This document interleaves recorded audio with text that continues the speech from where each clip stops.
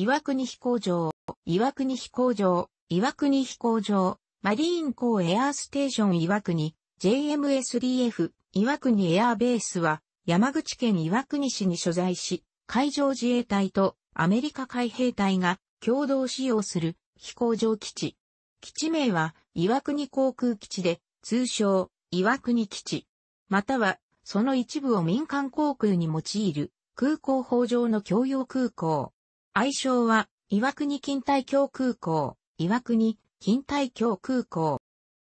本飛行場に関係する周辺対策事業は他の自衛隊、在日米軍施設同様、防衛施設周辺の生活環境の整備等に関する法律を根拠法とし、以下本節で同法と呼ぶ、旧防衛施設庁の主導により、下記が実施されてきた。一般的に周辺対策事業は下記のように区分され、その他にも名目をつけて予算措置がなされることがある。基地周辺対策の実施対象自治体は、広域自治体としては、山口県、広島県、基礎自治体としては、岩国市、旧有町を含む、群馬郡脇町、柳井市、旧大畑町のみ、大島郡周防大島町、大竹市など三市二町に及んでいる。本飛行場の場合対策の主眼は、騒音対策であり、一種、二種、三種のすべての種別の区域設定がなされている。障害防止対策事業、同法三条に基づくのうち一般障害防止については、河川改修工事、排水施設工事などの助成があり、1999年、平成11年時点までで70億9000万円の助成を実施している。学校等の公共施設の騒音防止対策事業としては、航空機騒音の防止、軽減対策として1954年度、特村法時代より、学校法人、幼稚園、医療施設などに防音工事を実施し、1999年時点で172億3000万円となっている。住宅防音工事については、同法4条に基づいて指定した第一種区域 75WECPNL 以上に所在する住宅を対象として、1978年度に岩国市を告示し、航空機の性能と運用の変化を勘案しつつ1982年、悠長、1992年に大竹市あった田島が追加された。住宅への防音工事は1975年、昭和50年度以降1999年、平成11年時点で約2万2000世帯に対して405億円が投じられている。同法第5条に基づく第2種区域 WECPNL90 以上からの移転保証については1968年、昭和43年度から実施しており、1999年、平成11年までの総計で建物16個、約9億6千万円、土地約5.9ヘクタールとなっている。第2種区域内の移転措置で購入した土地は、周辺財産として防衛施設庁が管理していた。うち、植栽を実施した面積は2.4ヘクタールである。このほか、周辺財産の一部を岩国市に使用を許可し、3.1ヘクタールが広場、花壇敷地などに使われている。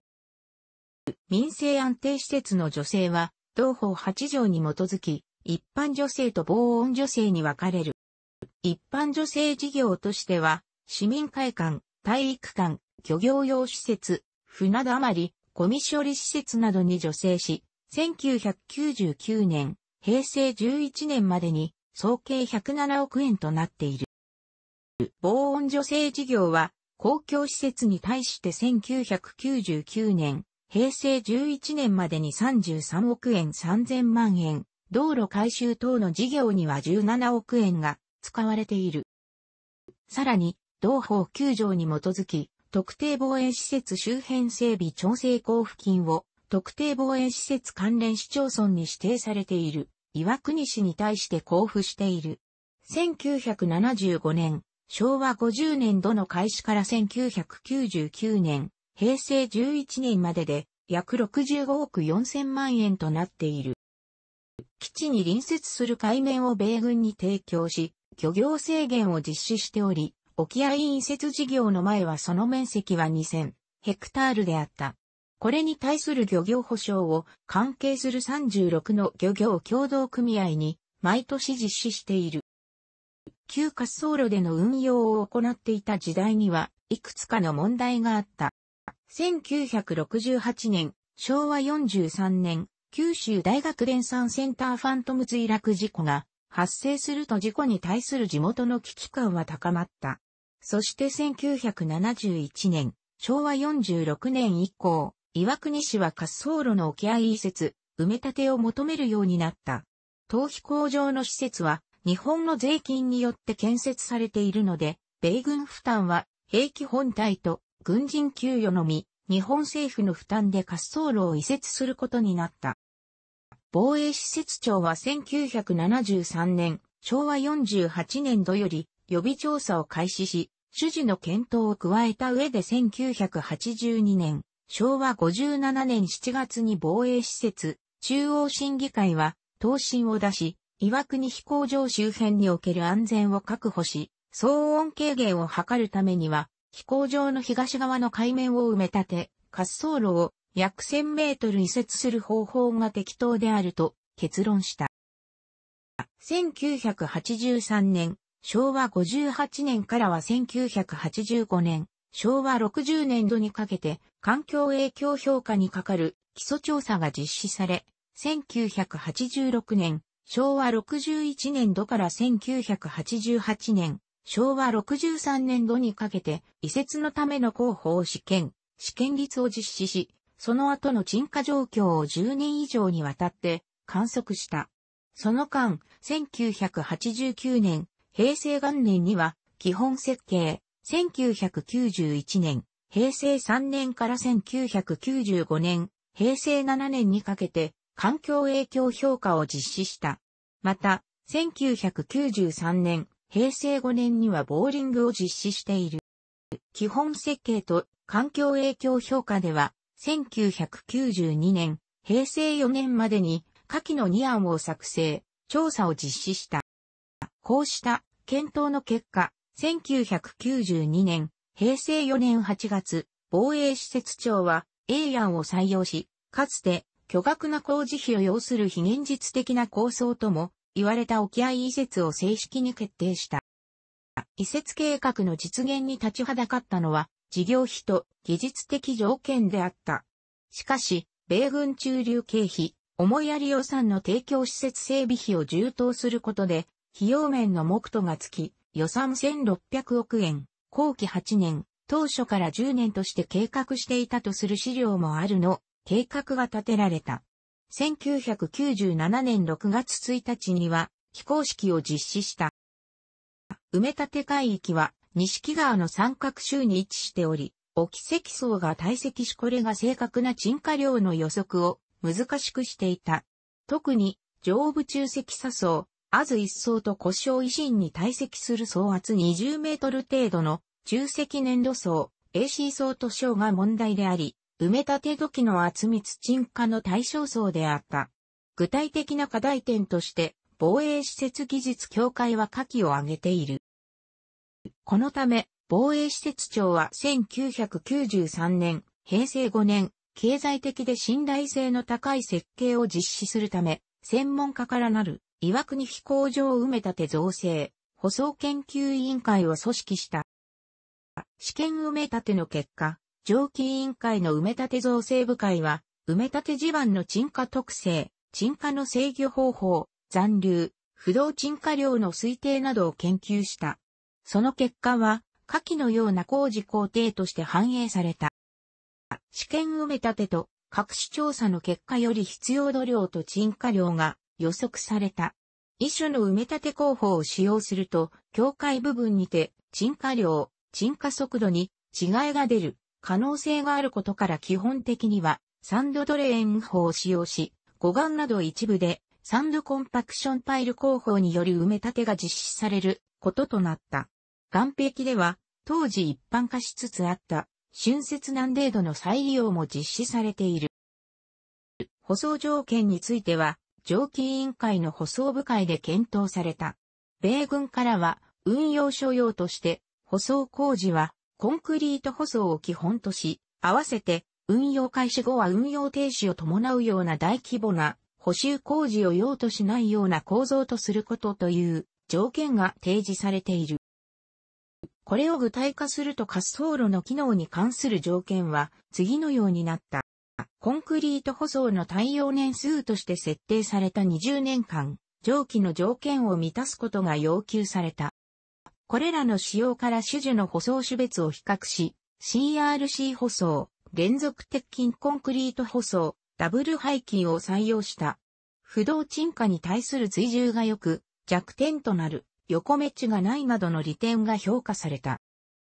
なお、その他湖岸、岸壁についても軟弱地盤上の建設であり、推進の変化が大きく、地盤条件も一様ではないため、設計には慎重な検討が必要と委員会で結論された。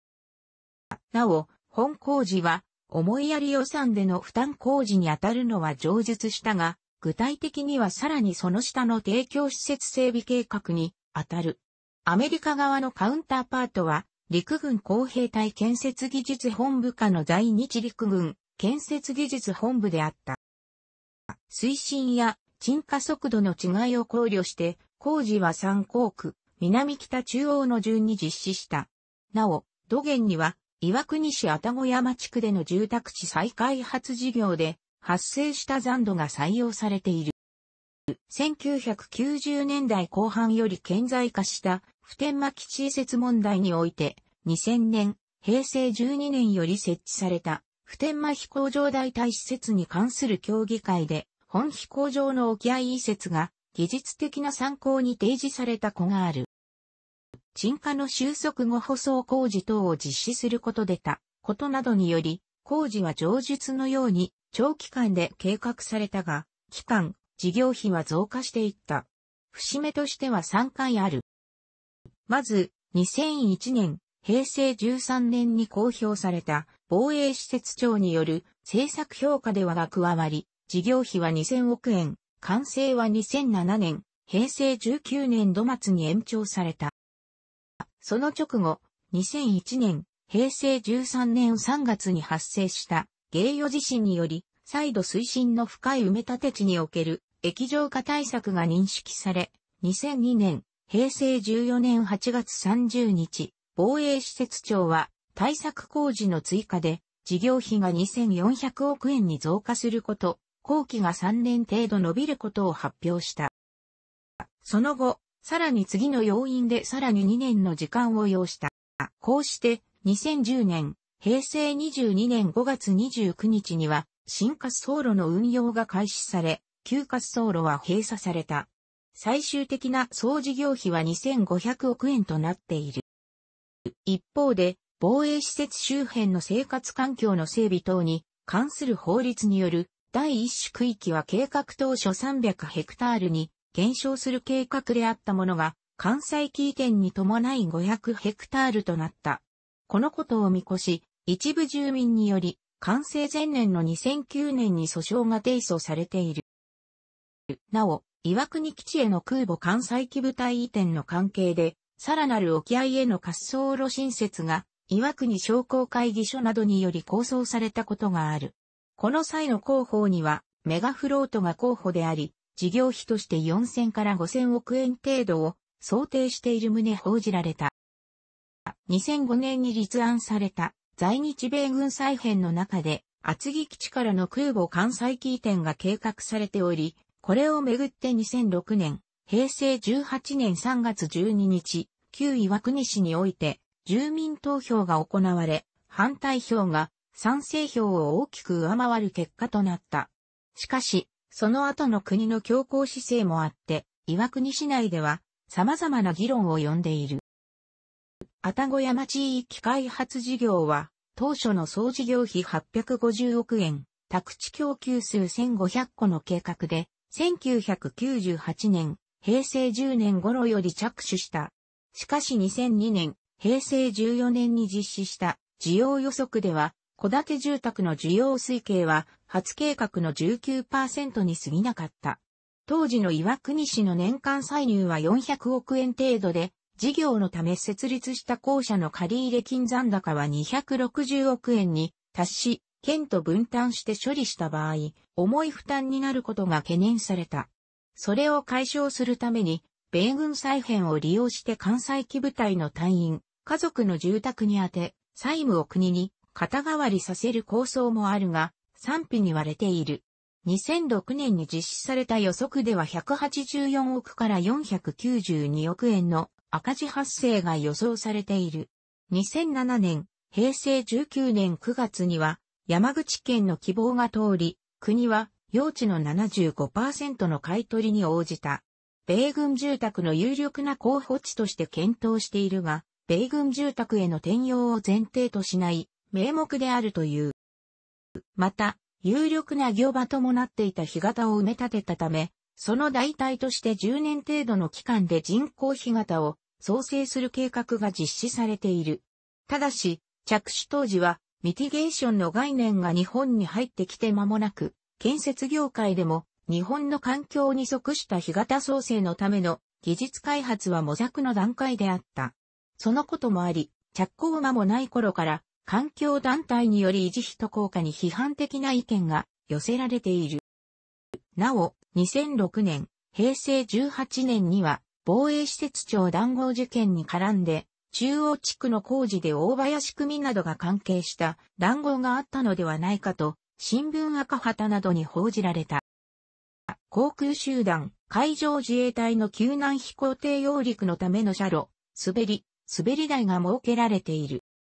航空管制は、米海兵隊が担当。保守は、米海兵隊が担当。米空軍基地となった1952年に、岩国空港として民間航空機が就航。以後、定期便が就航し、1954年には国際線も運航されたが、1964年に定期便がなくなり、民間航空の利用が中断。2005年に日米両政府が民間航空の再開に合意し、2012年、平成24年12月13日から民間機による定期便が就航した。日本国内で米軍基地に民間機の定期便が就航するのは、三沢飛行場、アメリカ空軍三沢基地に次いで2例目、山口県内では山口宇部空港に次いで民間機が就航する空港となった。空港法上は岩国飛行場として共用空港に区分されており、共用空港としての面積は115.2ヘクタール、運用時間は7時30分から22時30分。航空管制は日本国内の民間空港で唯一、米軍が担当する。かつて IATA 空港コードは EWATCH だったが、2012年の民間航空再開後は EWAC を使用している。愛称の岩国近代京空港は民間利用再開に伴い公募で決定されたもので、市内にある名称、近代橋にちなんでいる。2016年度の年間利用客数は45万1547人で、着陸回数は日本の空港で第64位、旅客数は第43位となっている。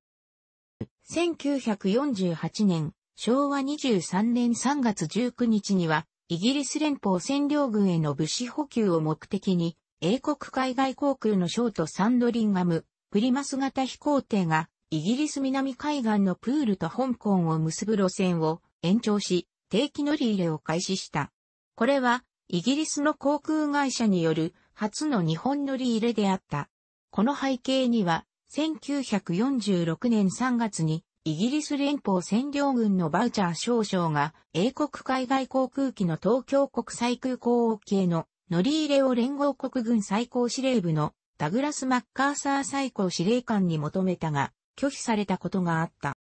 1952年、昭和27年、サンフランシスコ講和条約の発行に伴い、米空軍基地となり、日本航空が東京、福岡間の中継地として就航。以後、国際便を含めた民間機の定期便が就航したが、1964年、昭和39年に就航路線の変更により、定期便の就航が中断。その後は米軍関係者の移動にチャーター機が運航されることがあったほどだが、地元自治体は軍民共用化の再開を強く要望していた。その一環として、地元商工団体、岩国ハイチャーターフライト実行委員会が主催して、日本航空がホノルル国際空港往復のチャーター便を1992年、1996年、1999年、2007年の4回就航した。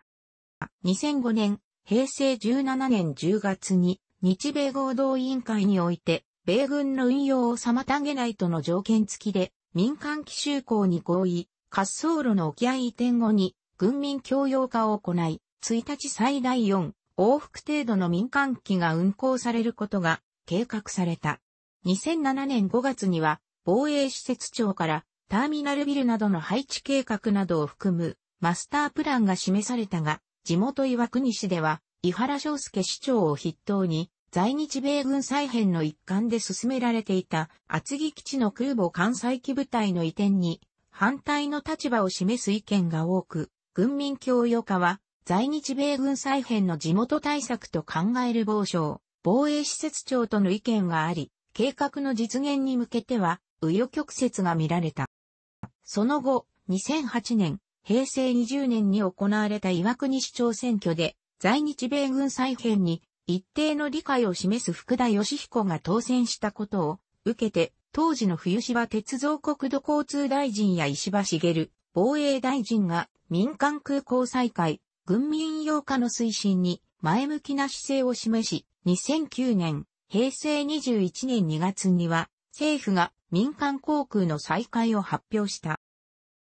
2010年、平成22年2月17日に、全日本空輸の上席執行役員が山口県庁を訪れ、沖合移転滑走路を使用し、羽田便を2012年、平成24年から1日4往復就航すると、2位山口県知事と副大和国町に正式表明した。ANA では、岩国市に工場を持つ帝人や日本製紙などへのビジネス需要や空港近郊の近代橋や宮島など観光需要で年間利用客を30から40万人と想定。2012年、平成24年1月17日に発表した2012年度 ANA グループ航空輸送事業計画において2012年下期から羽田岩国線を1日4往復就航と明記した。2012年、平成24年6月8日に羽田雄一郎国交省が岩国近対京空港について2012年、平成24年12月13日を開港目標費としたいと表明して準備が進められ、2012年12月13日から軍民共同利用が始まった。